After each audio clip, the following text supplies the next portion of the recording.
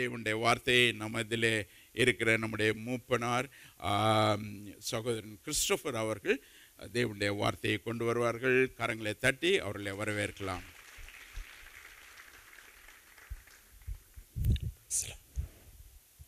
Check. Hallelujah. ஆண்டவரும் ரட்சருமாக இயேசு கிறிஸ்தின் என்ப நாமத்திலே உங்கள் யாவருக்கும் அன்பின் வாழ்த்தல்கள் இந்த அருமையான காலை வேளையிலும் கூட தேவனுடைய வார்த்தையை தியானிக்க ஆண்டவர் நமக்கு கொடுத்த அந்த தருணத்துக்காக நாம் ஆண்டவருக்கு நன்றி உள்ளவர்களாக இருப்போம். இந்த காலை நேர தியானத்திற்கு எடுத்துக்கொள்ள வேண்டிய வேத பகுதி யோசுவாவின் புத்தகம் ஐந்தாம் அதிகாரம் ஒன்பதாவது வசனம் book of Joshua chapter five verse nine கத்து யோசுவாவை நோக்கி இன்று எகிப்தின் நிந்தையை உங்கள் மேல் இராதபடிக்கு புரட்டி போட்டேன் என்றார். அதனால் அந்த ஸ்தலம் இந்நாள் வரைக்கும் கில்கால் எனப்படுகிறது. அதனால் அந்த ஸ்தலம் இந்நாள் வரைக்கும் கில்கால் எனப்படுகிறது. இந்த காலை வேளையில் இந்த கில்கால் என்று சொல்லக்கூடிய ஒரு ஸ்தலத்தை குறித்து நாம் தியானிக்க போகிறோம். கில்கால் ஒரு விசேஷித்த ஸ்தலம். பழைய ஏற்பாட்டிலே தேவனுடைய ஜனங்களாகிய இஸ்ரவேலர்களுக்கு ஆண்டவர் பல பரிமாணங்களிலே வெளிப்படும் போது கில்காலிலே சில விஷயத்த விசேஷத்த காரியங்களை தேவன் அவர்களுக்கு வெளிப்படுத்தினார். அவர்களுக்கு அவர்களுடைய ஆவிக்குரிய வாழ்க்கையும் அவருடைய ஆசீர்வாத வாழ்க்கையும் துளிர்க்கும்படியாக அது மறுபடியும் உயிர்ப்பிக்கும்படியாக தேவன் ஒரு மறு உடன்படிக்கை செய்த ஒரு விசேஷித்த ஒரு ஸ்தலம். இந்த கில்கால் என்று சொல்லும்போது அதிலே பல காரியங்களை தேவன் அங்கே அவர்களுக்கு செய்கிறார். பல அற்புதங்களை செய்கிறார். அவருடைய பிரமாணத்தையும் உடன்படிக்கையும் அவர்களோடு மறுபடியும் புதுப்பிக்கிறார். இன்னொரு விதத்தில் சொல்ல வேண்டும் என்று சொன்னால் வாக்குத்தத்தம் பண்ணப்பட்ட அந்த கானானை சுதந்திரிப்பதற்கு முன்பதாக அவர்கள் ஆசீர்வாதமாக பாதங்களை பதித்த முதல் இடம் கில்கால். இந்த கால வேளையிலே நீங்களும் நானும் அப்படிப்பட்டதான ஒரு ஆசீர்வாதமான ஒரு வாக்கு தத்துவத்தை பெற்றுக்கொள்ளும்படியாக ஒரு ஆசீர்வாதமான நடையை போடும்போது கில்காலை கடந்து அந்த ஆசீர்வாதத்தை நாம் பெற்றுக்கொள்ள வேண்டும். அந்த கில்காலிலே சில காரியங்களை தேவன் நமக்கு வைத்திருக்கிறார். அது மிக வித்தியாசமான மிக விசேஷித்தமான ஒரு இடமாக அது காணப்படுகிறது. அங்கே மறுபடியுமாக அவர்கள் பஸ்கா பண்டிகை ஆசரிக்கிறார்கள். மறுபடியுமாக விருத்த சேதனம் செய்து தேவனோடு உடன்படிக்கை செய்து கொள்கிறார்கள். அங்கே தேவன் செய்த அற்புத அடையாளங்களை அவர்கள் நினைப்பூட்டும் வண்ணமாக பனிரெண்டு கற்களை அங்கே வைத்து அதன் ஞாபக தூண்களாக வைத்து தேவனை ஆராதிக்கிறார்கள். தேவனுக்கு நன்றி உள்ளவர்களாக இருக்கிறார்கள். மாத்திரமல்ல தேவன் அவர்களோடு இருக்கிறேன் என்பதை வெளிப்படுத்தும்படியாக யோஸ்வாவோடு கூட தேவன் இடைப்பட்ட இடம்தான் கில்கால். ஒரு விசேஷத்த இடம் கில்கால். இந்த கில்காலுக்கும் புதிய ஏற்பாட்டில் உள்ள கொல்கோதாவுக்கும் ஒரு உடன்பாடு உண்டு. கில்கால் என்று சொல்லும்போது அது பாறை உருண்டையான இடம் என்றும் கொல்கத்தா என்று சொல்லும்போது அது பாறை அதுவும் கற்கள் நிறைந்த இடம் என்றும் பழைய ஏற்பாட்டு ஆராய்ச்சியாளர்கள் சொல்கிறார்கள். இன்னொரு விதத்தில் சொல்ல வேண்டும் என்றால் கொல்கோதா என்று சொல்லும்போது கொல்கோல்தா கில்கால் இரண்டுக்கும் மூல பாஷையிலே ஒரே அர்த்தமா அப்ப நம்முடைய வாழ்க்கையிலே இந்த புதிய ஏற்பாட்டின் நாட்களிலே ஆசீர்வாதத்தை சுதந்திரித்துக் கொள்ளும் போதே எப்படி பழைய ஏற்பாட்டு நாட்களிலே கில்காலை மையமாக வைத்து அவர்கள் ஆசீர்வாதத்தை சுதந்திரித்து அந்த ஆண்டவர் அவர்களுக்கு ஆயத்தப்படுத்திய அந்த ஆசீர்வாதமான பூமியை கடந்து வந்தார்களோ அதே போல நாமும் கூட இந்த நாட்களிலே அந்த நமக்கு ஏற்படுத்தப்பட்ட கில்கால் ஆகிய கல்வாரி சிலுவையை நோக்கி மறுபடியும் மறுபடியும் போக வேண்டியவர்களாக காணப்படுகிறோம். இன்னொரு விதத்தில் சொல்ல வேண்டும் என்று சொன்னால் இந்த யோசுவாவுடைய புத்தகத்தை நீங்கள் வாசித்து பார்த்தீர்களானால் ஒரு ஐந்து முறைகள் மறுபடியும் மறுபடியும் அவர்கள் கில்காலுக்கு வரக்கூடிய ஒரு அனுபவத்தை நீங்கள் பார்க்க முடியும். They come back to Golgotha to Gilgal காரணம் என்ன? எப்படி நாம் கல்வாரியை நோக்கி நம்முடைய வாழ்க்கையை மையப்படுத்தி நம்முடைய ஆசீர்வாதங்களை வாக்குத்தத்தங்களை சுதந்திரித்துக் கொள்ள வேண்டுமோ? அதே போல் இஸ்ரேவேல் ஜனங்களும் அந்த கில்காலை நோக்கி மறுபடியும் மறுபடியும் போனதாக வேத சரித்திரங்கள் நமக்கு கூறுகின்றன. அது ஒரு புதுப்பிக்கிற அனுபவமான இடமாக காணப்படும் இட்ஸ் பிளேஸ் ஆஃப் ரினியூவல் அது தேவன் செய்த அற்புதங்களை ஞாபகப்படுத்தும்படியான பிளேஸ் ஆஃப் ரிமெம்பரன்ஸ் அது தேவனோடு செய்த உடன்படிக்கையாக பிளேஸ் ஆஃப் ரிப்பென்டன்ஸ் அது தேவன் அவர்களுக்கு கொடுத்த எல்லா காரியங்களையும் அவர்களை ஆசீர்வாதமாக ஏற்றுக்கொள்ளும்படியான பிளேஸ் ஆஃப் ப்ரொவிஷன் எல்லாவற்றிற்கும் மேலாக தேவனுடைய வல்லமை அங்கே கடந்து செல்லும்படியாக தேவனுடைய சேனைகளின் அதிபதியாகிய ஒருவன் தேவனுக்கு யோசுவாவுக்கு தரிசனமாகி உன்னோடு கூட இருக்கிறேன் என்று வாக்குத்தத்தம் பண்ணிய ஒரு விசேஷித்த ஒரு ஸ்தலம். இந்த கில்காலை குறித்து ஒரு ஆறு காரியங்களை இந்த காலை வேளையில உங்களோடு கூட நான் வைக்க விரும்புகிறேன். முதலாவது நாம் வாசித்தது போல மறுபடியும் அந்த வசனத்தை வாசிங்க. ஐந்தாம் அதிகாரம் ஒன்பதாவது வசனம். கர்த்தர் யோசுவாவை நோக்கி. இன்று எகிப்தின் நிந்தையை உங்கள் மேல் இராதபடிக்கு புரட்டி போட்டேன் என்றார்.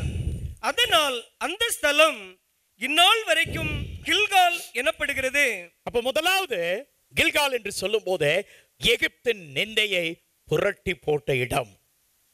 இஸ்ரேல் ஜனங்கள் வாக்குத்தத்தம் பண்ணப்பட்ட ஜனங்கள் ஆண்டவரால் தெரிந்து கொள்ளப்பட்ட ஜனங்கள் ஆசீர்வதிக்கப்பட்ட ஜனங்கள் அவர்கள் தேவனோடு கூட இருந்தவர்கள் தேவன் அவர்களோடு கூட இருந்தவர். ஆனால் வணங்கா கழுத்துள்ளவர்களாக கீழ்ப்படியாமற் போனது நிமித்தமாக சாதாரண ஒரு மாம்ச இச்சை நிமித்தமாக அவர்களுக்கு கொடுக்கப்பட்ட பூமியை விட்டு அவர்கள் எகிப்தை நோக்கி போகும்போது தானியத்தை தேடி போகும்போது நானூற்றி முப்பது வருடங்கள் அடிமைத்தனத்திலும் சிறையிருப்பிலும் அவர்கள் அடிமைப்படுகிறார்கள். யோசேப் அங்கே இருக்கிறான். யோசேப் அங்கே ஆசீர்வாதமாக இருக்கிறான். இந்த ஜனங்கள் அவனை தேடி வரும்போது அவர்கள் தானியத்தை தேடித்தான் வருகிறார்கள். அங்கேயே குடியிருந்து விடுகிறார்கள். எகிப்தை நோக்கி அவர்கள் போய் எகிப்திலே குடியேறி விடுகிறார்கள். யோசேப்பின் நாட்கள் கடந்து போனதன் பின்பதாக பல பார்வோன்கள் வருகிறார்கள். எபிரேயர் என்று சொல்லக்கூடிய அந்த இஸ்ரவேலர்கள் பல்கி பெருகி அந்த தேசத்தை நிரப்பும் போது எகிப்தியர் அவர்கள் மேல் பொறாமை கொண்டு அவர்களை அடிமைத்தனத்துக்குள் உட்படுத்துகிறார்கள். ஒரு வருடம் அல்ல இரண்டு வருடம் அல்ல பத்து வருடம் அல்ல நூறு வருடம் அல்ல நானூற்றி முப்பது வருடங்கள் அவருடைய கீழ்ப்படியாமினாலும் வணங்கா கழுத்து நிமித்தமாகவும் தேவன் அவர்களை அந்த அடிமைத்தனத்திலே அவர்களை அனுமதித்தார். ஆனா அவர்கள் கூக்குரலிட்டு தேவனிடத்திலே அவர்கள் தங்களுடைய அழுகுரலை எழுப்பும்போது தேவன் ஒரு ரட்சகரை மோசையின் மூலமாக எழுப்புகிறார். அவனுக்கு வல்லமையான ஒரு கோலை கொடுத்து வல்லமையான வாக்குத்தத்தத்தை கொடுத்து தேவனுடைய பிரசனம் அவனோடு கூட வந்து தேவனுடைய சமூகம் அவனுக்கு முன்பாக சென்று அந்த லட்சோப லட்ச ஜனங்கள் கிட்டத்தட்ட இருபது லட்சம் ஜனங்கள் என்று சொல்லக்கூடிய ஒரு பெரிய ஜனக்கூட்டத்தை அந்த பாழாய் போன எகிப்திலிருந்து பாபமான எகிப்திலிருந்து அந்தகாரமான எகிப்திலிருந்து அவர்கள் நடக்கும்படியாக அற்புத அடையாளங்களை செய்து தேவன் அவர்களை விடுதலை செய்தார். விடுதலை செய்தது நிமித்தமாக அவர்கள் செங்கடலை கடந்து செல்கிறார்கள். செங்கடலின் இரண்டு புறமும் அந்த தண்ணீர் நேராக நின்று தேவனுடைய வல்லமே அது பரிமணித்தது. அதன் பின்பதாக அவர்கள் வனாந்திரத்தில் நடந்தார்கள். அவர்கள் நான்கு நாட்களே போக வேண்டிய இடத்திலே தங்களுடைய வணங்கா கழுத்து நிமித்தமாக நாற்பது வருடங்கள் தேவன் அந்த வனாந்திரத்தில் அவர்களை சுற்று விடுகிறார். சுற்றினதன் பின்பதாக மோசே செய்த தவறு நிமித்தமாக அவரும் அவருடைய சந்ததியும் அந்த ஆசீர்வாதத்தை அவர்கள் பெற முடியாதபடிக்கு அவர்கள் இழந்து போகிறார்கள். இந்த சம்பவம் நடக்கும்போது இரண்டாம் தலைமுறை அந்த நாற்பது நாட்களுக்கு பின்பதாக உள்ள இரண்டாம் தலைமுறை ஆசீர்வாதத்தின் வாசலுக்கு வந்து விடுகிறது. அது வருவதற்கு முன்பதாக யோசுவாவுக்கு தேவன் வல்லமையான வாக்குத்தத்தத்தை கொடுத்து நான் மோசையோடு இருந்தது போல உன்னோடு கூட இருந்து உன்னை நான் வழி நடத்துவேன் உன்னை விட்டு நான் விலகுவதும் இல்லை உன்னை கைவிடுவதும் இல்லை என்று சொல்லி ஆண்டவர் யோசுவாவை ஜனங்களிடம் ஏற்றுக்கொள்ளவில்லை. மோசே தான் அவர்களுக்கு தலைவராக இருந்தார். இப்பொழுது யோசுவாவை ஏற்றுக்கொள்ளும்படியாக யோர்தானிலே செங்கடலில் செய்த அதே அற்புதத்தை யோர்தானிலே செய்து யோர்தான் என்று சொல்லும்போது அது வெள்ளத்திலே புரண்டு ஓடக்கூடிய ஒரு நதி. அந்த நதியிலும் கூட தேவன் அந்த நீரை இரண்டு புறமாக நிறுத்தி வெட்டாந்தரையிலே இந்த ஜனங்கள் நடந்து ஆசீர்வாதமான பூமியை அவர்கள் சுதந்திரிப்பதற்கு முன்பதாக கில்காலிலே பாளையம் இறங்குகிறார்கள். அந்த நேரத்தில் தாமே ஆண்டவர் சொல்றாரு இந்த ஊர்ல எகிப்தின் நிந்தையை புரட்டி போடும்படியாக இந்த ஊரை கில்கால் என்று நீ பெயரிடுவாயாக என்று. இந்த காலை வேளையில் இதை கேட்டுக்கொண்டிருக்கிற அருமையான சகோதரி சகோதரிய நம்முடைய வாழ்க்கையில பல நிந்தைகளை நாம் கடந்திருப்போம். பல போராட்டங்களை கடந்திருப்போம். பல இருளான சூழ்நிலைகளை கடந்திருப்போம். பல எதிர்மறையான சந்தர்ப்பங்களை நாம் கடந்திருப்போம். ஆனா இந்த காலை வேளையில் ஆண்டவர் சொல்லுகிறார் கில்காலை நாம் அடையும் போது அந்த நிந்தையை புரட்டி போட வல்லவையாக இருக்கிறார். லூயா அந்த நம்முடைய பழைய கில்காலை நம்முடைய பழைய பாவங்களை பழைய அந்தகாரங்களை பழைய எல்லா விதமான எதிர்மறையான காரியங்களையும் தேவன் இன்றைக்கு புரட்டக்கூடிய ஒரு கில்காலின் அனுபவத்துக்கு உங்களையும் என்னை அழைக்கிறார். எத்தனை பேர் வர்றது காயத்தமாக இருக்கிறீங்க? ஹலலூயா கில்காலின் அனுபவம் அது நிந்தைகளை புரட்டி போடக்கூடிய அனுபவம். நானூறு வருடங்கள் சிறையிருப்பு நானூறு வருடங்கள் அடிமைத்தனம் நானூறு வருடங்கள் தங்களுடைய சுதந்திரம் பறிக்கப்படுகிறது நானூறு வருடங்கள் அந்தகாரத்திலும் பாவத்திலும் அவர்கள் வாழ்ந்து வருகிறார்கள். ஆனால் அப்படிப்பட்ட ஜனங்களை தேவன் தம்முடைய கிருபையினால் ரட்சித்து அவளை வழி நடத்தி அந்த கில்காலை சுதந்திரிக்கும்படியாக கில்காலில காலடித்து வைக்கும்படியாக அவர்கள் பாவம் செய்தவர்கள் தான் கீழ்ப்படியாமல் போன ஜனங்கள் தான் ஆனால் ஆண்டவர் அவருடைய கிருபை நிமித்தமாக அவருடைய அன்பின் நிமித்தமாக அவர்களை மறுபடியும் அந்த தேசத்துக்கு கொண்டு வந்து அங்கே அந்த எகிப்தினுடைய நிந்தையை புரட்டி போடும்படியான ஒரு அனுபவத்தை அவர்களுக்கு கொடுக்கிறார் என்று சொல்லி பார்க்கிறோம். வேதத்தில் இன்னொரு இடத்துல பார்க்கிறோம். இன்று கண்ட எகிப்தினை நீ இனி காண்பதில்லை. ஒரு விசுவாசம் இருக்கணும் ஒவ்வொரு விசுவாசியினுடைய வாழ்க்கையிலும் பலவிதமான அந்தகாரங்கள் பலவிதமான போராட்டங்கள். நம்ம ஆராதனையும் போது சகோதரன் சொன்னார் வேலை நிறைய பேருக்கு வேலை இல்லாமல் போயிது ரிசெஷனில் இருக்கிறோம். அன்சர்டனிட்டி ஆனால் ஒரு காரியத்தை உங்களுக்கு நான் ஞாபகப்படுத்த விரும்புகிறேன். உலகத்தில் வறட்சி இருக்கும். ஆனால் தேவனுடைய பிள்ளை வறட்சி காலத்தில் பஞ்ச காலத்தில் விதையை விதைக்கும் போது ஒரு மடங்குல ரெண்டு மடங்குல தேவன் நூறு மடங்கு விளைய செய்வார். ஹalleluya அந்த விசுவாசம் தான். எத்தனை பேருக்கு விசுவாசம் இருக்கு? நிச்சயமாக தேவன் அதை நமக்கு செய்ய உண்மை உள்ளவராக இருக்கிறார். அந்த கில்காலின் அனுபவத்தை நாம் கடந்து வரும்போது எகிப்து நிந்தையை எப்படி புரட்டி போட்டாரோ உங்களுடைய என்னுடைய நிந்தையை தேவன் புரட்டி போட வல்லமை உள்ளவராக இருக்கிறார். அது எப்படிப்பட்ட சூழ்நிலையாக இருந்தாலும் சரி நம்முடைய வியாதியை குறித்த காரியமா இருக்கலாம் நம்முடைய எதிர்காலத்தை குறித்த காரியமா இருக்கலாம் பிள்ளைகளை குறித்த காரியமா இருக்கலாம் அல்லது பாவ பழக்க வழக்கம் என்ன சிறையிருப்பில் இருக்கக்கூடிய காரியமா இருக்கலாம். எப்படிப்பட்ட காரியமா இருந்தாலும் கில்காலுக்குள் நாம் கடந்து வந்து விட்டோம்னு சொன்னா ஆண்டவர் வாக்கு தத்துவமாக சொல்லுகிறார் உங்களுடைய எகிப்து நிந்தையை நான் புரட்டி போடுகிறேன் என்று சொல்லி புரட்டி போடக்கூடிய ஒரு அனுபவத்தை நாம் பார்க்கிறோம். அப்படி எகிப்து நிந்தையை புரட்டி போடும்போது என்ன நடக்குது பாருங்க ஏசாயா தீர்க்கதரிசியின் புத்தகம் அறுபதாம் அதிகாரம் பதினெட்டாவது வசனம் பதினெட்டுல இருபது வசனம் படிங்க. Book of Isaiah chapter sixty verses eighteen to twenty அழிவும் நாசமும் உன். எல்லைகளிலும். கேட்கப்பட மாட்டாது உன் மதில்களை ரட்சிப்பென்றும் உன் மதில்களை ரட்சிப்பென்றும் பிரதில போடுங்க. படிங்க சிஸ்டர் உன் வாசல்களை துதி என்றும் சொல்லுவாய். உன் வாசல்களை துதி என்று சொல்லுவாய். அறுபது பதினெட்டுல இருந்து இருபது வரை படிங்க சிஸ்டர் வெளிச்சம். கர்த்தரே நித்திய வெளிச்சமாய் இருப்பார். இனி சூரியன் உனக்கு பகலிலே வெளிச்சமாய் இராமலும் இனி சூரியன் உனக்கு பகலிலே வெளிச்சமாய் இராமலும் சந்திரன் தன் வெளிச்சத்தால் உனக்கு பிரகாசியாமலும். கர்த்தரே உனக்கு நித்திய வெளிச்சமும் கர்த்தரே உனக்கு நித்திய வெளிச்சமாய் வெளிச்சமும் வெளிச்சமும் உன் தேவனே உனக்கு மகிமையுமாய் இருப்பார் நல்லா கவனிங்க. கில்காலுடைய அனுபவத்துக்கு நீங்கள் வரும்போது நான் வரும்போது தேவன் நமக்கு என்ன செய்கிறார்? இயற்கையையும் சந்தர்ப்பங்களையும் சார்ந்திருக்காதபடிக்கு தேவனை மாத்திரம் சார்ந்திருக்கக்கூடிய ஒரு உன்னத அனுபவத்தை அது குறிக்கிறது. இத்தனை நாள் வரைக்கும் அவங்க வந்து பகல்ல சூரியனையும் இரவிலே சந்திரனையும் நம்பிக்கொண்டிருந்தவர்களுக்கு ஆண்டவர் சொல்றார் இன்றைக்கு உங்கள் தேவனே உங்களுக்கு நித்திய வெளிச்சமாய் இருப்பார். ஹalleluya எத்தனை பேர் விசுவாசிக்கிறீர்கள்? என் தேவன் எனக்கு நித்திய வெளிச்சமாய் இருப்பார் என்று சொல்லி. உலகத்துக்கு ஒளியாக இயேசு கிறிஸ்து வந்தார். அவரே ஒளியாக ஜீவ ஒளியாக நமக்கு வந்தார். அந்த இயேசு கிறிஸ்துவை பிடித்து கொள்ளும்போது சந்திரன் இல்ல சூரியன் இல்லை அது என்ன தெரியுமா அர்த்தம்? We don't believe in natural circumstances.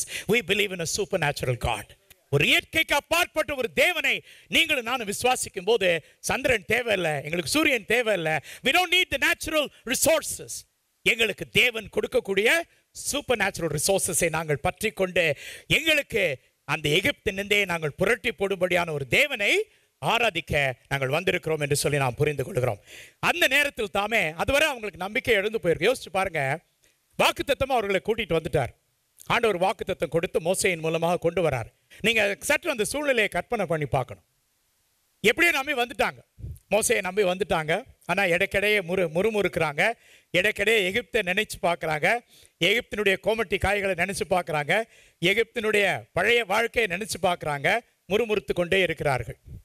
இன்னைக்கு சுதந்திரிப்போமா? நாளைக்கு சுதந்திரிப்போமா? நாளானைக்கு சுதந்திரிப்போமா என்று சொல்லி ஒவ்வொரு நாளும் ஓடிக்கொண்டே இருக்கிறது. நாட்கள் மாதங்களாக மாறி மாதங்கள் வருடங்களாக மாறி நாற்பது வருஷம் ஓடிடுச்சு I want you to understand this இந்த நாற்பது வருடங்கள் அவர்கள் வனாந்திரத்தில் பயணம் பண்ணும்போது இட்ஸ் அ ஹோப்லெஸ் சுச்சுவேஷன் நம்பிக்கையற்ற சூழ்நிலை.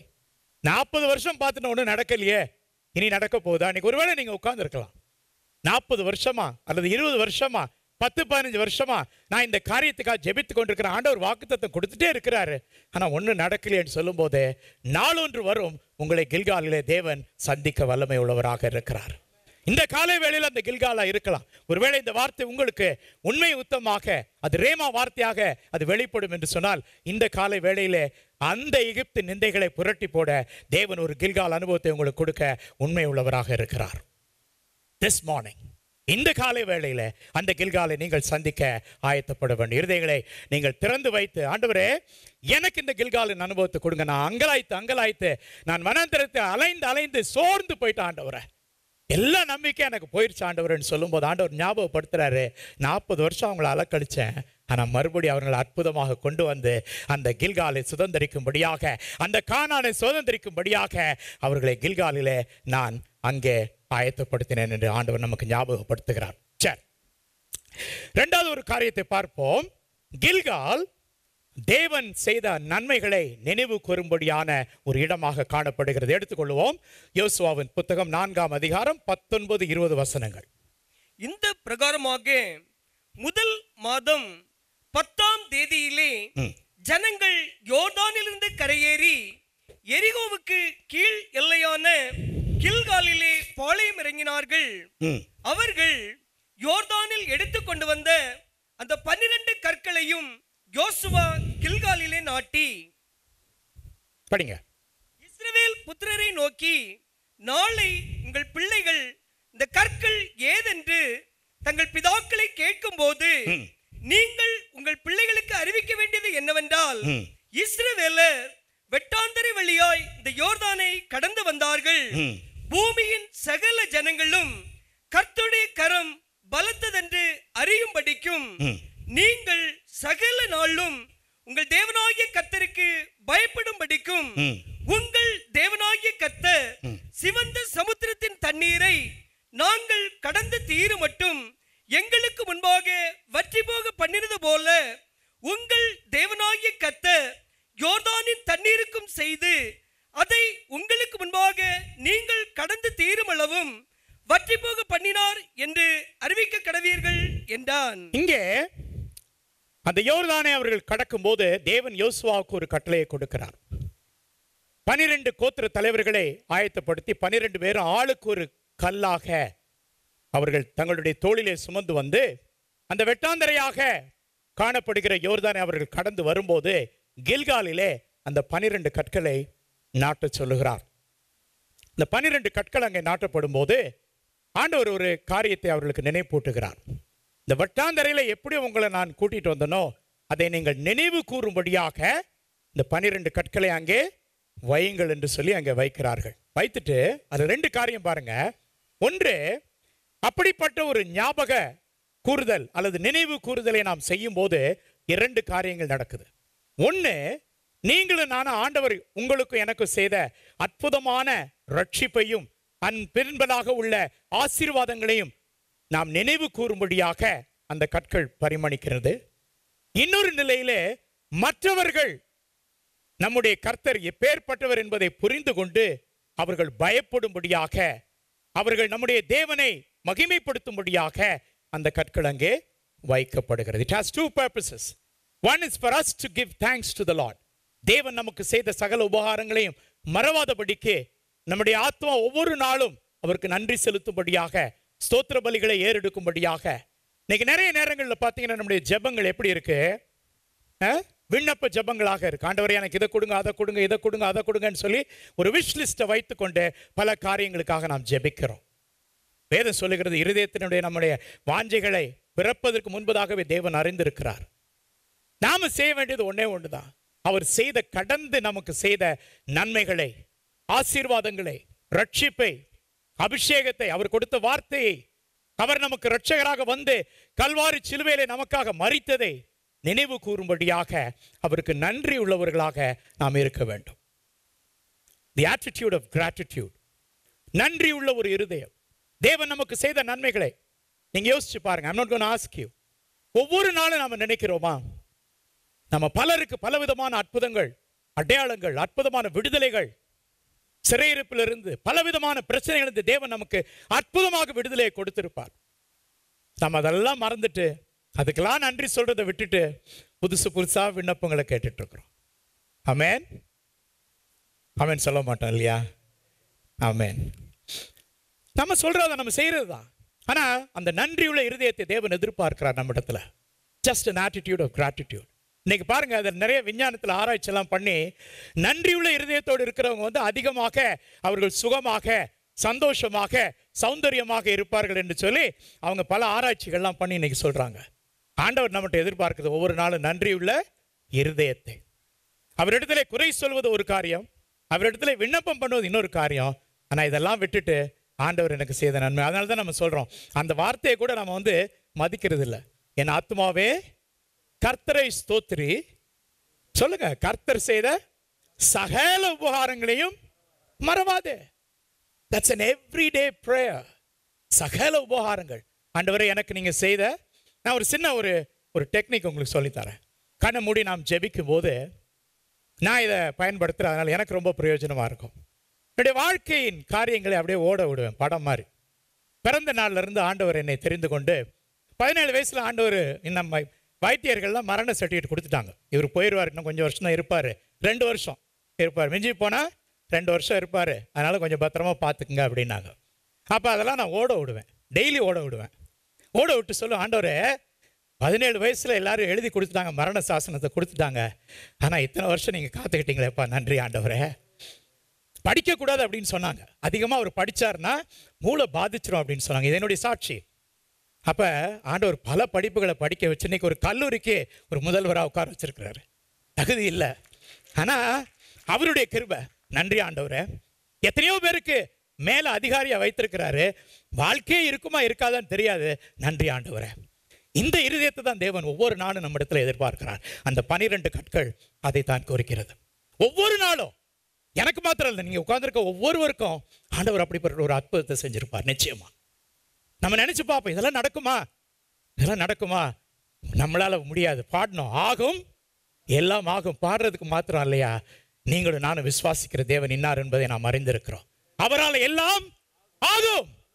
அமேன் அப்படிப்பட்ட ஒரு தேவனை நாம் விசுவாசிக்கிறோம். அப்ப அந்த கற்களை குறித்து சொல்லும்போது ஆண்டவர் எனக்கு செய்த சகல நன்மைகள். ஆண்டவர் எனக்கு கொடுத்த ஆசீர்வாதங்கள். ஆண்டவர் எனக்கு கொடுத்த ரட்சிப்பு. ஆண்டவர் எனக்கு கொடுத்த நம்பிக்கை.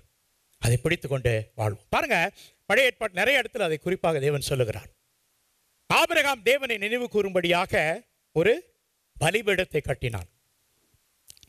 ஈசாக்கு துறவுகளை தோண்டினான்.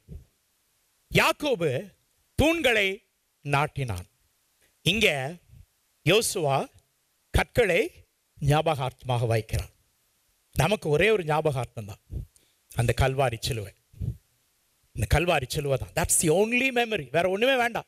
ஒவ்வொரு நாளும் இந்த சிலுவையினுடைய தியானத்தை. ஆண்டவரே நீங்க கல்வாரியில் மறிச்சதுனால எனக்கு மறுவாழ்வு. நீங்க கல்வாரியில் எனக்கு ரத்தத்தை சிந்தினதுனால எனக்கு ரட்சிப்பு நீங்க கல்வாரியில் ரத்தத்தை சிந்தினது நிமித்தமாக எனக்கு எல்லா ஆசீர்வாதங்களும். அந்த Calvary that's the only memory நீங்களை நான் நினைவு கூற வேண்டிய ஒரே ஒரு நினைவு சின்னம் அந்த கல்வாரி. கல்வாரி. அந்த அளவற்ற அன்பினால் அவர் நமக்காக தன்னுடைய சரீரத்தையும் தன்னுடைய இரத்தத்தையும் பணயமாக கொடுத்து உங்களை என்னை மீட்டு கொண்டாரையா எவ்வளோ நன்றி உள்ளவர்களாக நாம் இருக்கணும்.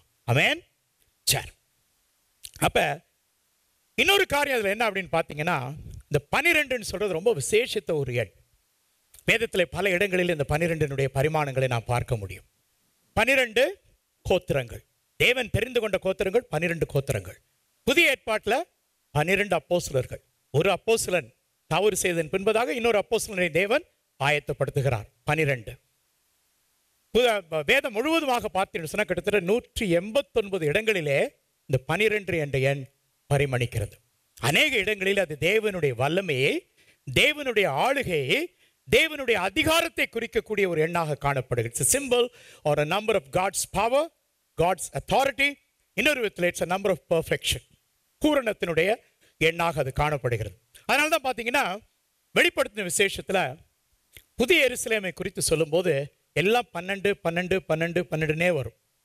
பன்னிரெண்டு வாசல்கள் பனிரெண்டு அஸ்திவாரங்கள் பனிரெண்டு பரிசுத்த கற்கள் என்று பனிரெண்டு கோத்திரங்கள் பனிரெண்டாயிரம் பேராக வந்து ஒரு லட்சத்தி நாற்பத்தி நாலாயிரம் பேர் வரக்கூடிய எல்லாம் பனிரெண்டினுடைய பரிமாணங்கள்.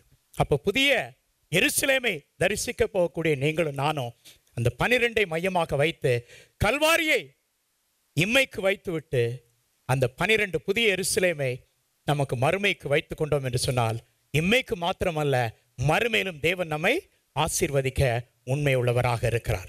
So it is a it's a constant meditation ஆண்டவர் எனக்கு செய்த நன்மைகள் கல்வாரி சிலுவையில் அவர் சுமந்து எனக்கு செய்த நன்மைகள் புதிய எருசலேமில் எனக்கு செய்ய போகிற மகிமைகள் என்று சொல்லி இரண்டையும் நான் நினைவு கூறும்படியாக நாம் அதை செய்யும் போது நம்முடைய பிள்ளைகளுக்கு நம்முடைய சந்ததிக்கு அதை சொல்லிக் கொடுக்கிறோம். இப்போ என் பிள்ளைகளுக்கெல்லாம் சொல்லியிருப்பேன் நான். நீங்களாம் வந்ததே ஒரு மிரக்கல் அப்படின்னு. எப்படி மிரக்கல் நானே ஒரு மிரக்கல் நான் மிரக்கல் ஆனதுக்கு அப்புறம் தானே பிள்ளைகள் வர முடியும் இல்லையா? ஒன்று அல்ல ரெண்டு அல்ல மூன்று பிள்ளைகளை கொடுத்து ஆண்டவர் ஆசீர்வதித்திருக்கிறார். அப்போ எப்படி அது சொல்ல முடியும்? பிள்ளைகிட்ட சொல்லணும். அவங்க எல்லாருக்கும் என் சாட்சி தெரியும். டேடி அது சொல்லுங்க. அது சொல்லுங்க அந்த கதையை சொல்லுங்க.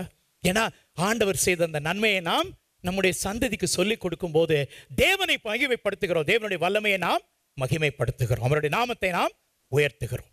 அப்ப இரண்டாவது காரியம் கில்கால் என்று சொல்லும்போது தேவனுடைய நாமத்தை மகிமைப்படுத்தி அவர் செய்த ஆசீர்வாதங்களை அற்புதங்களையும் நினைவு கூறும் ஒரு காரியமாக அது காணப்படுகிறது. மூன்றாவது ஒரு காரியம் பாருங்க. கில்கால் ஒரு புதுப்பிக்கிற அனுபவத்தினுடைய ஒரு ஸ்தலமாக காணப்படுது பிளேஸ் ஆஃப் ரினியூவல் யோசுவா ஐந்தாம் அதிகாரம் ரெண்டுல இருந்து ஒன்பது வசனம் படிங்க. அக்காலத்திலே கர்த்தர் யோசுவாவை நோக்கி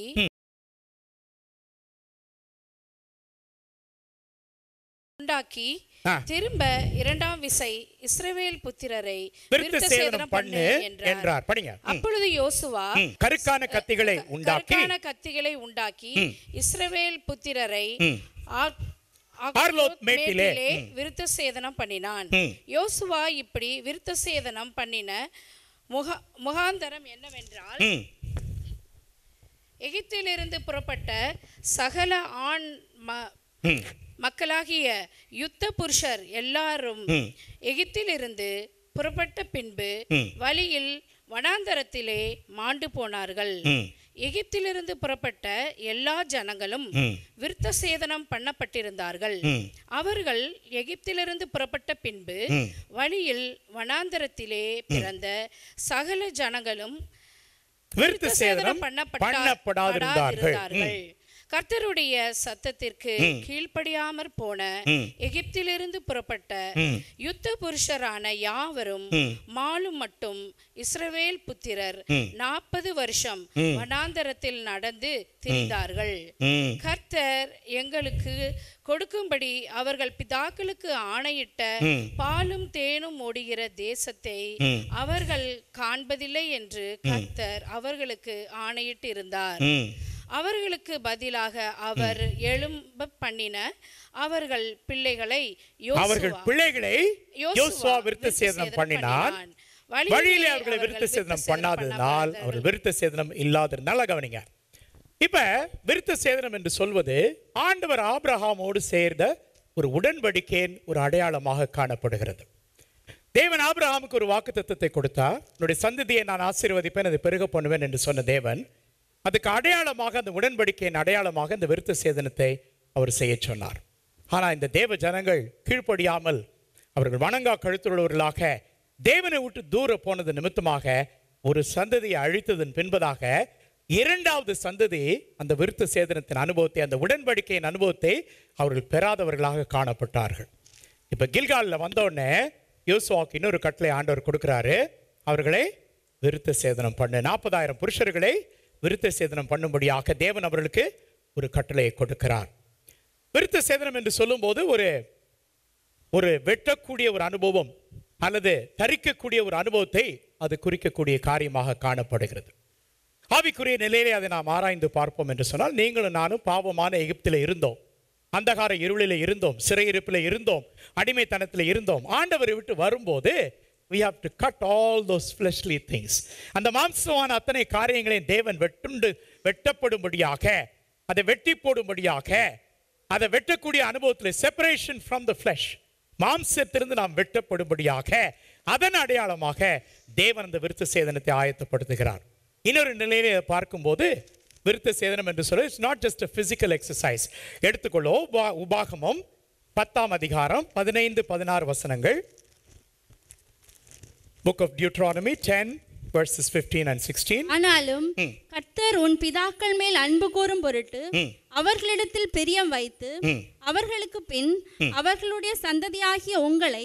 இந்நாளில் இருக்கிறபடியே சகல ஜாதிகளுக்குள்ளும் தமக்கென்று தெரிந்து கொண்டார். ஆகையால் ஆகையால் நீங்கள் இனி உங்கள் பிடரியை கடினப்படுத்தாமல் கடினப்படுத்தாமல் உங்கள் இருதயத்தின் நுனித்தோலை இருதயத்தின் நுனித்தே தோலை சேதனம் பண்ணுங்கள். கவனிச்சிங்களா? அப்ப இங்க சரீர பிரகாரமான விருத்த சேதனத்தை தேவன் சொல்லவில்லை. இருதயத்துல நிறைய நாம கடினப்பட்டுட்டோம். இது விசுவாசிகளுக்கு ஆண்டவர் கொடுக்கக்கூடிய ஒரு எச்சரிக்கை. நிறைய நேரங்கள் ஆண்டவர் நம்ம விடுதலை செய்கிறார் ஆசீர்வாதத்தை கொடுக்குறாரு. அதுக்கப்புறம் நம்ம என்ன பண்றோம்? இஸ்ரேல் ஜனங்கள் மாதிரி மறுபடி பழைய வேலைக்கு போயிடுறோம். இல்லையா? பழைய குருடி கதவு திரடியா அப்படின்னு சொல்லிட்டு நம்ம பேக் ஸ்லைட் ஆகிறோம் பின்மாற்றம் அடைந்து போகிறோம். தேவன் இன்றைக்கு நமக்கு அந்த கில்காலின் அனுபவத்தில் அவர் என்ன சொல்றாரு? உங்களுக்கு உங்க நிந்தையை நான் புரட்டி போட்டேன். சதா காலம் அதை நினைவு கூறும்படியாக அந்த கற்களை நீங்கள் நினைவு கூறுங்க. கல்வாரி சிலுவே நீங்க நினைவு கூறுங்க. புதிய எருசலேமை நினைவு கூறுங்க. மாத்திரம் அல்ல உடைய இருதயங்களை விருத்த சேதனம் செய்யுங்கள். இன்னொரு வசனம் எடுங்க. உபாகமம் முப்பது ஐந்து ஆறு. உன் பிதாக்கள் சுதந்திரித்திருந்த தேசத்தை நீ சுதந்திரிக்கும்படிக்கு உன் தேவனாகிய கர்த்தர். அதில் உன்னை சேர்த்து உனக்கு நன்மை செய்து உன் பிதாக்களை பார்க்கிலும் உன்னை பெருக பண்ணுவார் பெருக பண்ணுவார் உன் தேவனாகிய கர்த்தரில். நீ முழு உன் தேவனாகிய கர்த்தரில் நீ உன் முழு இருதயத்தோடும் உன் முழு முழு ஆத்மாவோடும் அன்பு கூர்ந்து. பிழைக்கும்படி. உன் தேவனாகிய கர்த்தர் உன் இருதயத்தையும் உன் சந்ததியாரின் இருதயத்தையும் விருத்த சேதனம் பண்ணி. சேதனம் பண்ணி. நல்லா கவனிங்க. இப்போ ஒரு கேள்வி உங்களுக்கு. ஒவ்வொரு நாளும் ஆண்டவர்கிட்ட நாம ஜெபிக்கிறோம். தேவனுடைய வார்த்தையை தியானிக்கிறோம். ஆராதிக்கிறோம். நன்றி செலுத்துறோம். நல்லதுதான். ஆனால் I want to ask you self நீங்களே அந்த கேள்வி உங்கள்கிட்ட கேட்டுங்க. நான் இன்றைக்கு நாளைக்கு நேற்று என் தேவனாகிய கர்த்தரை முழு இருதயத்தோடும் முழு ஆத்மாவோடும் நிறைய பேருக்கு இந்த வார பதத்தினுடைய அர்த்தம் புரியாது. You see, our relationship with God is at two levels. ஒன்று at the thinking level, இன்னொன்று feeling level emotions and thoughts அப்போ முழு இருதயத்தோடுன்னு சொல்லும்போது ஆண்டவர் என்ன கேட்குறாரு உங்களுடைய இருதயத்தில் ஆண்டவரை நீங்கள் விசுவாசிக்கிறீங்களா? நேசிக்கிறீங்களா? விருத்த சேதனம் உங்களுடைய இருதயத்தில் விருத்த சேதனம் செய்து ஆண்டவரை நீங்கள் நேசிக்கிறீர்களா? அன்பு கூறுகிறீர்களா? அதே போல முழு ஆத்மாவோடும் முழு சிந்தையோடும். So total thoughts total feelings towards God தேவனை குறித்து என்னுடைய முழு சிந்தனையும் என்னுடைய முழு உணர்வுகளும் ஆண்டவரை நோக்கி பார்க்கும்படியாக. இந்த காலை வேளையில் இதை கேட்டுக்கொண்டிருக்கக்கூடிய நீங்க எனக்கு அந்த காணானை சுதந்திரிக்கும்படியான அனுபவம் தடையாகவே இருந்து கொண்டிருக்கிறது. செங்கடலை போல தடை வருது யோர்தானை போல தடை வருது எரிக்கோ போல தடை வருது அப்படின்னு சொன்னீங்கன்னா கில்காலின் அனுபவத்தை நீங்க கடந்து போனா தான் அந்த காணானை நம்ம சுதந்திரிக்க முடியும். Before Gilgal there is no promised land அப்ப அந்த கில்காலின் அனுபவம் பார்க்கும்போது புரட்டி போடப்பட்ட அனுபவம் நன்றி கூறக்கூடிய அனுபவம் மூன்றாவது விருத்த சேதனம் செய்யக்கூடிய ஒரு அனுபவம். இதுல இன்னொரு காரியம் இருக்கு. விருத்த சேதனம் செய்துவிட்டு இவர்கள் காணானியர்கள் இப்போ போருக்கு ரெடி ஆயிட்டு இருக்கிறாங்க. நீங்க பின்னாடி அதை படிச்சு பார்த்து நேரம் இல்லை நான் வேகமா போறேன். காணானியர்கள் ஆயத்து போருக்கு ஆயத்தப்படுற நேரத்துல ஆண்டவர் ஒரு வித்தியாசமான ஒரு கட்டளையை கொடுக்குறார். என்ன கட்டளை? விருத்த சேதனம் பண்ண அப்படிங்கிறார். அத்தனை ஆண்களையும் விருத்த சேதனம் பண்ணுங்கிறாரு. பண்ணிட்டு அந்த கியூரிங் ப்ராசஸ் அவர்கள் சுகமாவதற்கு ஒரு சில நாட்கள் ஆகும். சில வாரங்கள் கூட ஆகும். அதுக்கப்புறம் தான் அது நேச்சுரலாக இயற்கையிலேயே அது அவர்களுக்கு அது அவளுக்கு சுகம் கிடைக்கும். எல்லாம் பாளையத்துக்குள்ள இருங்க அப்படி. அந்த விருத்த சேதனம் பண்ணப்பட்ட நாட்களில் அவங்க வெளியே வர முடியாது. இன் அதர் வேர்ட்ஸ் அவர்கள் போருக்கு ஆயத்தமாக இருந்தாலும் அவர்கள் போருக்கு தயாராக இல்லை. புரிஞ்சுட்டீங்களா நான் சொல்றது உங்களுக்கு புரியுதா? அவங்க என்ன பண்றாங்க? அவங்களுக்கு ட்ரீட்மெண்ட் மெடிக்கல் ட்ரீட்மெண்ட் கொடுத்துட்டாங்க. சர்ஜிக்கல் ட்ரீட்மெண்ட் கொடுத்து அவங்க வந்து ட்ரீட்மெண்ட்ல இருக்கிறாங்க. அவங்க வெளியே வர முடியாது. இப்போ போருக்கு ரெடி ஆயிட்டு இருக்கணும். இப்போ போருக்கு ரெடி ஆகிற அந்த குறிப்பிட்ட நாட்கள்ல அவங்க போருக்கு அன்ஃபிட் நல்லா கவனிங்க. முக்கியமான ஒரு ஆவிக்குரிய கருத்து. போருக்கு அவங்க அன்ஃபிட் எதுக்கு தெரியுமா? ஆண்டவர் யோசிச்சு பாருங்க. என்னங்க போருக்கு ஆயத்தப்படுற ஆண்டவர் இதை பின்னாடி செஞ்சிருக்க கூடாதா? இல்ல ஆண்டவர் இதை முன்னாடி செஞ்சிருக்க கூடாதா? God is God of time perfect time எல்லாத்தையும் அதன் அந்த நேரத்தில் நேர்த்தியாக செய்யக்கூடிய தேவன். எதுக்காக இதை அனுபவிச்சாரு? யோசிச்சு பார்த்தீங்களா? எதுக்காக தெரியுமா? நீ போருக்கு போறது ஓம் பலத்தில் இல்ல உன் தேவனுடைய பலத்தில். அலலோயா நீ விருத்த சேதனம் செய்யப்பட்டு நீ சுகமா இல்லைனாலும் பிரச்சனை இல்லை. வானத்தையும் பூமியும் படைச்ச உன் தேவன் உன்னுடைய யுத்தத்தை உனக்காக செய்ய வல்லமை உள்ளவராக இருக்கிறார். இந்த யுத்தம் கர்த்தருடையது உன்னுடைய யுத்தம் அல்ல. நீ பாடி வீட்டில் ட்ரீட்மெண்ட் எடுத்துக்கிட்டு இரு. சண்டையை நான் போடுறேன் அப்படிங்கிறாரு. நிறைய நேரத்தில் நாம் சண்டைக்கு ஆயத்தை போட்டுட்ருக்குறோம் அந்த ஆண்டவர் என்ன சொல்கிறார் இந்த காலை வேளையில் நீங்கள் விருத்த சேதனம் செய்யுங்க. உங்கள் இருதயத்தை விருத்த சேதனம் செய்து முழு இருதயத்தோடும் முழு மனதோடும் ஆத்மாவோடும் உங்கள் ஆண்டவரை நீங்கள் நோசிச்சு பார்த்துட்டுருங்க மீதி வேலைகளை நான் பார்த்து கொள்கிறேன் என்று சொல்லக்கூடிய ஒரு அற்புதமான காரியத்தை நாம் பார்க்கிறோம். அது இன்னொரு சம்பவம் இருக்குது நீங்கள் எழுதி கொள்ளுங்க. நேரம் அதில் பார்க்கறதுக்கு. யாக்கோபினுடைய புதல்வர்களாகிய லேவி சிம் சிமியோன் வந்து ஒரு காரியத்தை செய்வாங்க. தீனாள் என்று சொல்லக்கூடிய தன்னுடைய சகோதரியை கெடுத்த அந்த செமைக்கேரனுடைய காரியங்களை அவர்கள் விருதாவாக்கும்படியாக அவர்களை விருத்த சேதனை செய்ய பண்ணுவாங்க. அந்த வசனம் எழுதிக்கங்க. நீங்கள் பின்னாடி போய் தியானம் பண்ணிக்கங்க. ஆதி ஆகும் முப்பத்தி நான்கு இருபத்தைந்தில் அது குறித்த காரியங்கள் இருக்கிறது. அப்போ ஆபிரகாமுக்கு தேவன் கொடுத்த உடன்படிக்கையின் அடையாளம் தான் அந்த விருத்த சேதனம். இன்றைக்கு உங்களுக்கு எனக்கும் கலாத்தியர் மூன்று பன்னிரெண்டு பதினாலில் நாம பார்க்குவது போல ஆபிரகாமினுடைய அத்தனை ஆசீர்வாதங்களும் நமக்கு வேணும் அப்படின்னு சொன்னா நம்முடைய இருதயங்களை சுத்திகரித்து இருதயங்களை விருத்த சேதனை செய்து ஆண்டவரை நோக்கி பார்க்கும்போது ஆண்டவரை நீங்கள் மாத்திரம்தான் எங்களுக்கு என்று சொல்லி நம்மை ஒப்படைக்கும் போது அர்ப்பணிக்கும் போது கருத்தர் இந்த காரியத்தை நமக்கு செய்ய உண்மை உள்ளவராக இருக்கிறார். இன்னொரு காரியம் இந்த விருத்த சேதனை இல்லாமல் பஸ்காவை ஆசரிக்க முடியாது. அப்போ என்ன தெரியுமா அர்த்தம்? நம்முடைய இருதயத்தை சுத்திகரிக்காமல் நம்முடைய இருதயத்தை விருத்த சேதனை செய்யாமல் ஆண்டவரோடு கூட நாம் ஐக்கியம் கொள்ள முடியாது. பஸ்கா பண்டிகை அடுத்தது அவங்க செய்ய போகிறது பஸ்கா பண்டிகை. அந்த பஸ்கா பண்டிகைக்கு அவர்கள் ஆயத்தப்படுவதற்கு முன்பதாக இந்த விருத்த சேதனம் ஒரு முன் அடையாளமாக அது ஆயத்தமாக அது காணப்படுகிறது. அதான் நம்ம பார்க்குறோம். அந்த யாத்ராமம் பன்னிரெண்டாம் அதிகாரம் நான்காம் வசனத்தில் நீங்கள் பார்த்தீங்கன்னா அவர்கள் அந்த அதிகாரத்தை அந்த கட்டளை ஆண்டவர் அவர்களுக்கு கொடுக்கிறார். படிங்க பிரதர் யாத்ராகமம் பன்னிரெண்டு நாலு. ஆட்டுக்குட்டியை புசிக்கிறதற்கு போதுமான பேர்களா இராமற் போனால் அவனும் அவன் சமீபத்தில் இருக்கிற அவனுடைய அயல் வீட்டுக்காரனும் தங்களிடத்தில் தங்களிடத்தில் உள்ள ஆத்துமாக்களின் லக்கத்திற்கு தக்கதாக ஒரு ஆட்டுக்குட்டியை தெரிந்து கொள்ள வேண்டும். அப்ப இந்த பஸ்கா ஆட்டுக்குட்டினுடைய பஸ்கா பண்டிகை அவர்கள் அனுசரிப்பதற்கு முன்பதாக விருத்த சேதனம் செய்யப்பட்டவர்களாக ஆயத்தப்பட்டவர்களாக அவர் காணப்படும். கடைசி அதில் ஒரு கருத்து பாருங்க. இவர்கள் எதுக்கு ஆண்டவர் விருத்த சேதனம் செய்ய சொல்றாரு? எகிப்து என்று சொல்ல அந்தகாரத்திலிருந்து எகிப்து என்று சொல்லக்கூடிய அந்த பாவத்திலிருந்து. எகிப்து என்று சொல்லக்கூடிய அடிமைத்தனத்திலிருந்து வந்ததன் அடையாளமாக விருத்த சேதனம் செய்ய சொல்றார். ரெண்டாவது என்ன தெரியுமா? எகிப்தை விட்டு அவங்க வந்துட்டாங்க. ஆனால் அவங்கக்குள்ளே இருக்கிற எகிப்து இன்னும் மாறல. ஹalleluya. இன்னைக்கு நிறைய பேர் எகிப்தை விட்டு வெளியே வந்துட்டோம். பாவத்திலேருந்து வெளியே வந்துட்டோம். ஆனால் எகிப்து கொஞ்சம் கொஞ்சம் உள்ளே இருக்கு. ஆண்டோடைய காலைக்கு நமக்கு ஞாபகப்படுத்துறாரு. அந்த எகிப்தை தூக்கி வெட்டி போடுங்க.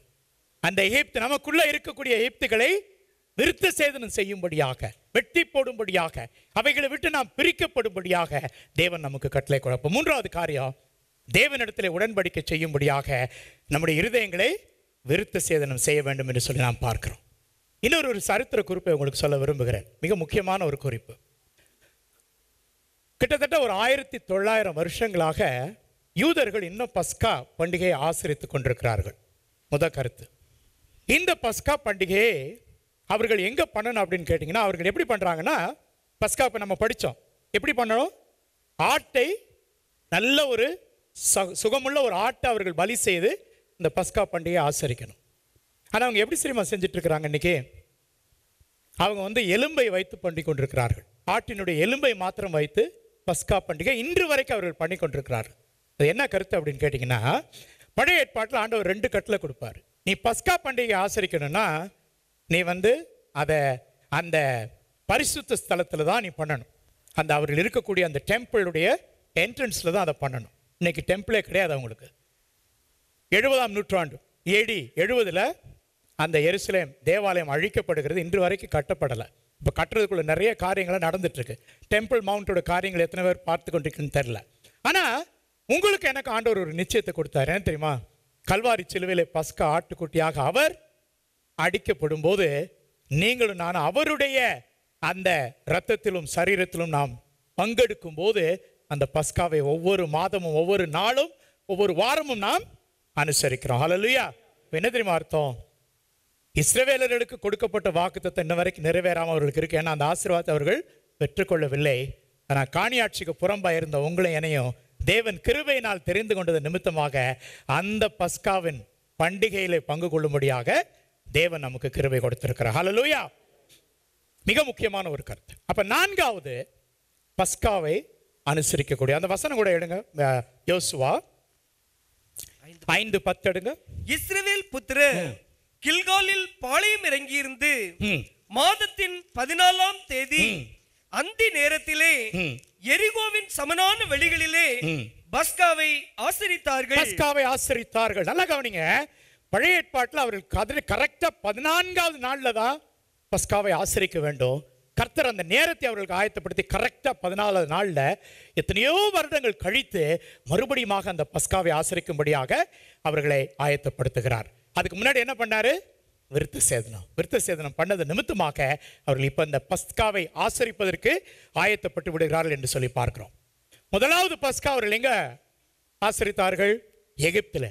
ரெண்டாவது சீனாய் மலையில. மூன்றாவது பஸ்கா கெல்காலில். கெல்கால் இப்போ என்ன?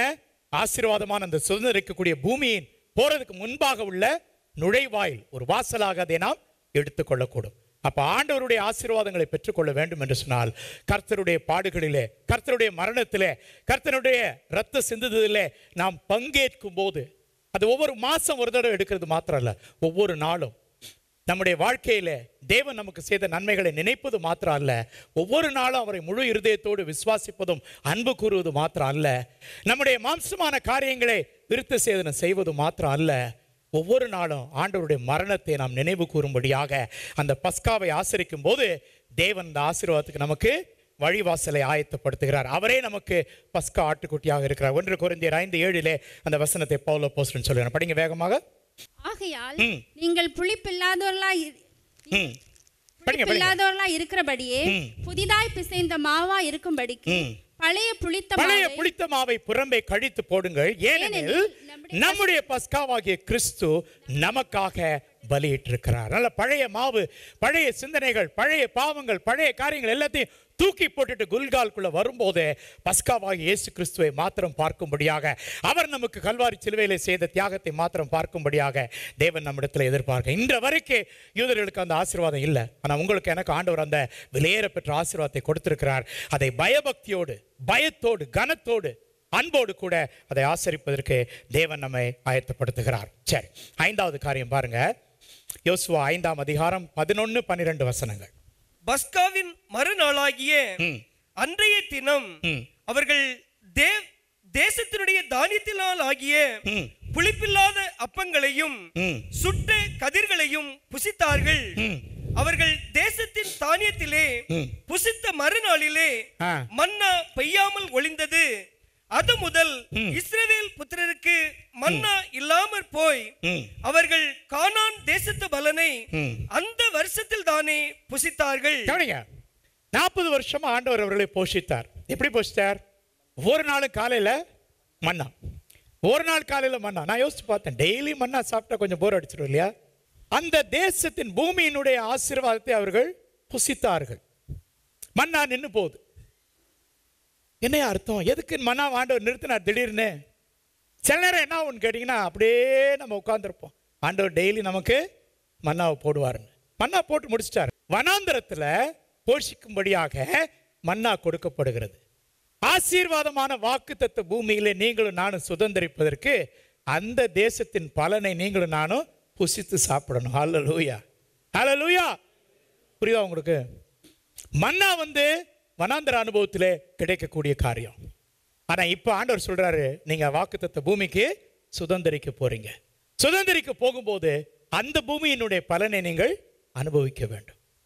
அப்ப மன்னா வனாந்திர பயணத்துல மிரக்லஸ் அற்புதமாக அதிசயமாக நமக்கு கொடுக்கப்படுகிறது.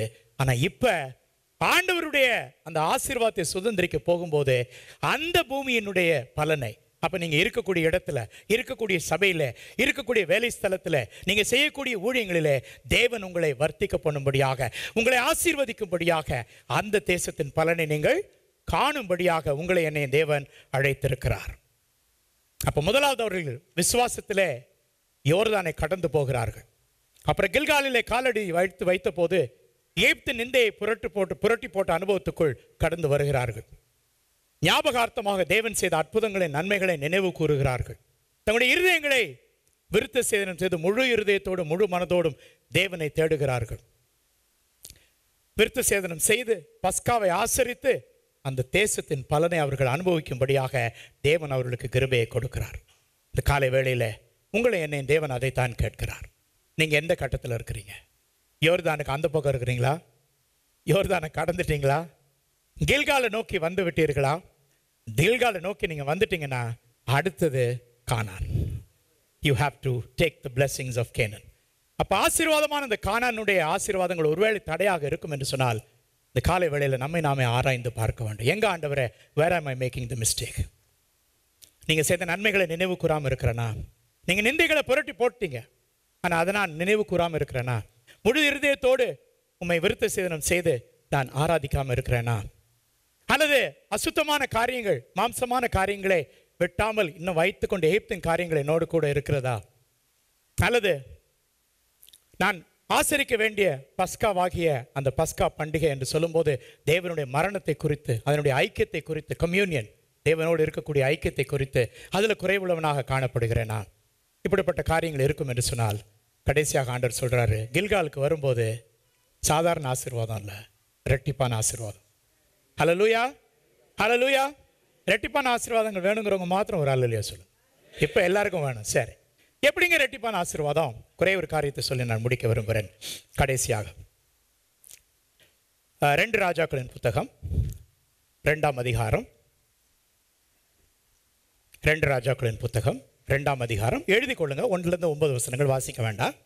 இந்த சம்பவம் நமக்கு தெரியும். எலியா இந்த உலகத்தை கடந்து போகிறார். எலிசாட்டு சொல்ற நீ வராத அப்படிங்கிற. எலிசா சொல்ற இல்லை நான் வருவேன். அப்போ அவங்க ஒரு நாலு இடங்களுக்கு போகிறாங்க கில்கால் பெத்தேல் எரிகோ யோர்தான். இந்த நாலு இடங்களுக்கு போகும்போது அவன் என்ன சொல்கிறான் எலிசா என்ன சொல்கிறான் உண்மை நான் தொடர்ந்து வருவேன். நீர் வச்சிருக்கிற ஆசீர்வாதத்தில் எனக்கு ரெட்டிப்பான பங்கு வேணும் எனக்கு அப்படிங்கிறான். அந்த ரெட்டிப்பான பங்கு வர்றதுக்கு ஆரம்பம் எங்கே? கில்கால். இன்னைக்கு எனக்கு சாதாரண ஆசீர்வாதம் இல்லை. ஆண்டவர் ரெட்டிப்பான பங்கு கொடுக்க ஆயத்தமாக இருக்கிறார். எல்லாவற்றிலும் ரெட்டிப்பான். ரெட்டிப்பான அபிஷேகம். ரெட்டிப்பான ஆசீர்வாதம். ரெட்டிப்பான சமாதானம் ரெட்டிப்பான சந்தோஷம் ரெட்டிப்பான பெருக்கத்தை கொடுக்க தேவன் ஆயத்தமாக இருக்கிறாரு. கேள்வி என்ன? அவு ரெடி நீங்களும் நான் அதுக்கு ஆயத்தமாக இருக்கிறோமா?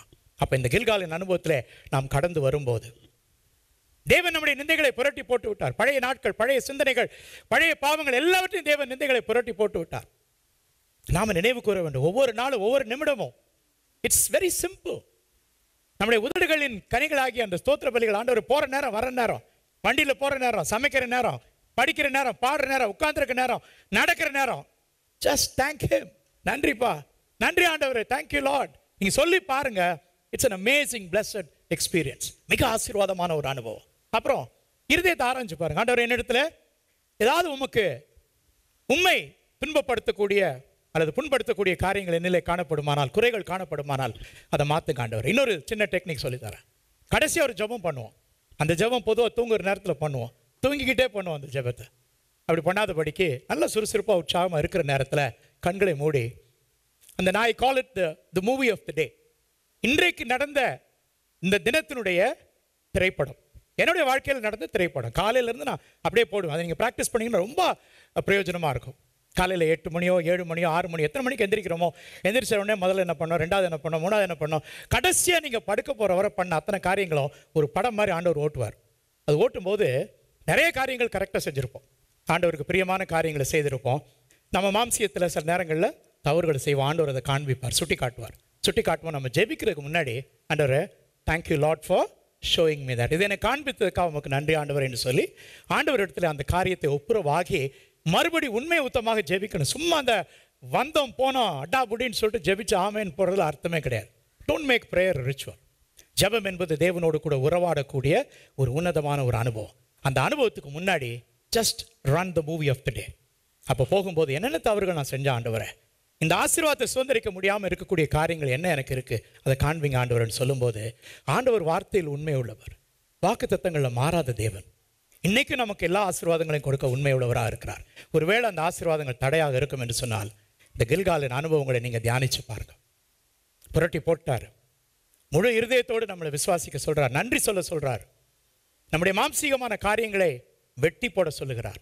வெட்டி போட்டு பஸ்காவை ஆசரித்து ஆண்டவரை நோக்கி பார்க்கும்போது ஒன்றல்ல ரெட்டிப்பான ஆசீர்வாதத்தை கொடுக்க உண்மை உள்ளவராக இருக்கிறார். ஹalleluya. ஹalleluya. கண்களை மூடி ஒரு நிமிடம் செபிப்போம் எங்களை நேசிக்கிற நல்ல தாப்புனே இந்த நல்ல காலை வேலைக்காக உமக்கு கோடி ஸ்தோத்திரங்களப்பா.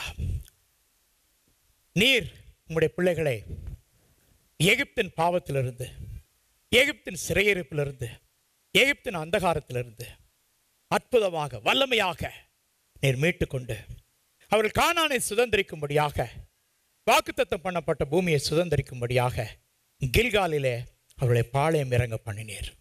இந்த காலை வேளையிலே கில்காலின் பாளையத்தை குறித்துதான அற்புதமான காரியங்களை நாங்கள் தியானித்து ஆண்டுகிறேன் கில்கால் என்று சொல்லும்போது எங்களுடைய நிந்தைகளை புரட்டி போட்ட ஒரு அனுபவம். எகிப்து நிந்தைகள் எகிப்தின் பாவங்கள் எகிப்தின் அந்தகாரங்கள் எல்லாவற்றையும் புரட்டி போட்ட அனுபவங்கள். மாத்திரமல்ல நீர் செய்த நன்மைகள் நீர் செய்த அற்புதங்கள் அதிசயங்களை நாங்கள் நினைவு கூறும்படியாக ஒவ்வொரு நாளும் ஒரு கில்காலின் அனுபவமாக எங்களுக்கு இருக்கட்டும் ஆண்டவரே. வந்திருக்க ஒவ்வொரு பிள்ளைகளும் என்னுடைய ஆவி ஆத்மா சரீரம் விருத்த சேதனை செய்யும்படியாக முழு இருதயத்தோடும் முழு மனதோடும் உம்மை நோக்கி பார்க்கும்படியாக உம்மை மாத்திரம் நோக்கி பார்க்கும்படியாக நாங்கள் கர்த்தாவே எங்களை அர்ப்பணிக்கிற ஆண்டவரே ஒரு அர்ப்பணிப்போடு கூட இந்த ஜபத்தை நாம் ஏறெடுப்போம். அர்ப்பணிக்கிற ஆண்டவரே we commit ourselves totally Lord we surrender all selves Lord உடைய கல்வாரி சிலுவேல உடைய கல்வாரி அன்புக்கு உடைய கல்வாரி ரத்தத்திற்கு உடைய கல்வாரியின் சரீரத்தை பிற்கப்பட்ட அந்த மாயமற்ற அன்புக்காக எங்களை அர்ப்பணிக்கிற ஆண்டவரை. எங்களில் இருக்கக்கூடிய மாம்சிய காரியங்களை வெட்டி போட விருத்த சேதனம் செய்ய எங்களுக்கு கிருப செய்யுங்க ஆண்டவரை. உண்மை மாத்திர சார்ந்திருக்க உண்மை மாத்திர நம்பி இருக்க எங்களுக்கு கிருப செய்யுங்கப்பா. கிருப செய்யுங்க ஆண்டவரே. மாத்திரமல்ல ஆண்டவரே இந்த கில்காலின் அனுபவத்தில் நாங்கள் பஸ்காவை ஆசரிக்கும் போது எங்கள் ஆண்டவர் எங்களுக்கு செய்த காரியங்களை நாங்கள் நினைவு கூறும்போது கல்வாரியில நீர் எங்களுக்கு சிந்தின ரத்தத்தை நாங்கள் நினைவு கூறும்போது மாம்சத்தை நினைவு கூறும்போது ஆண்டவரே நீர் எங்களுக்கு இரட்டிப்பான ஆசீர்வாதத்தை வைத்திருக்கிறீர் என்பதை நினைப்பூட்டிய கிருபைக்காக உமக்கு நன்றி ஆண்டவரே. இந்த இரட்டிப்பான ஆசீர்வாதத்தை இரட்டிப்பான வரங்களை இரட்டிப்பான அபிஷேகத்தை இரட்டிப்பான சமாதானத்தை சந்தோஷத்தையும் நாங்கள் ஒவ்வொருவரும் பெற்றுக்கொள்ளும்படியாக இந்த மதிய வேளையில் ஆண்டவரே உம்மிடத்தில் நாங்கள் கெஞ்சி மன்றாடுகிறோம் ராஜா. கெஞ்சி மன்றாடுகிறோம். கில்காலின் அனுபவம் எங்கள் ஒவ்வொருடைய வாழ்க்கையிலும் ஒவ்வொரு நாளின் அனுபவமாக இருக்கட்டும் ஆண்டவரே. கல்வாரிக்கும் கல்வாரின் ரத்தத்திற்கும் கல்வாரின் அன்பிற்கும் எங்களை அர்ப்பணிக்கிறோம் ஆண்டவரே கிருபைக்கு தாழ்த்தி ஒப்பு கொடுக்கிறோம் இயேசு ராஜாவின் மூலம் ஜெபிக்கிறோம். நல்ல தாப்பனே ஆமே ஆமே என் ஆத்மாவே கத்திரை ஸ்தோத்ரி. என் முழுவலுமே பரிசுத்த நாமத்தை ஸ்தோத்ரி. என் ஆத்மாவே கர்த்தரை ஸ்தோத்ரி. அவர் செய்த சகல உபகாரங்களை மறவாதே. ஆமேன். நம்முடைய கர்த்தராகிய இயேசு கிறிஸ்துவுடைய கிருபையும் பிதாவாகிய தேவனுடைய அன்பும் பரிசுத்த ஆவியானுடைய ஐக்கியமும் வழி நடத்துதலும் நம் அனைவரோடும் இன்றும் என்றும் இயேசு கிறிஸ்துவுடைய வருகை பரியந்தும் இருப்பதாக. ஆமேன். ஆமேன்.